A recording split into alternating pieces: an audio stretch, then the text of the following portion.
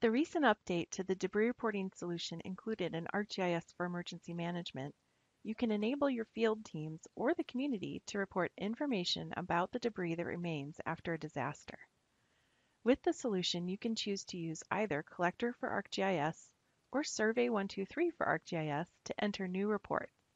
Here we can see the collector experience for adding a new debris report. I can choose the type of debris, enter relevant information about its disposition in the field, and provide estimates for weight and volume. Similar to Collector, in Survey 123, I can add a new report or use the inbox to update an existing report. In this case, we need to move this reported debris from submitted to loading. Debris reporting also includes an operations dashboard configuration to assist with monitoring the cleanup. In the operational view, we can see a count of reports and estimated volume of debris.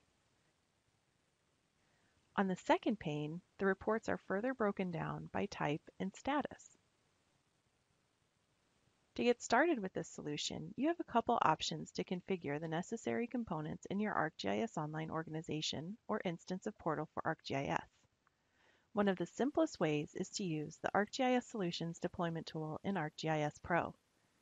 After installing the add-in, search for debris and select the debris reporting items. This includes a web map, complete with symbology and pop-up configuration which can be used in Collector, a form for Survey 123, and an operational view. After deploying the solution, these three elements will reference the same hosted feature layer, so all personnel participating in cleanup are using the same data. The solution also includes a download and step-by-step -step instructions if you'd like to deploy the solution manually to your organization. You can find these and more information on the solution site. Thanks for watching!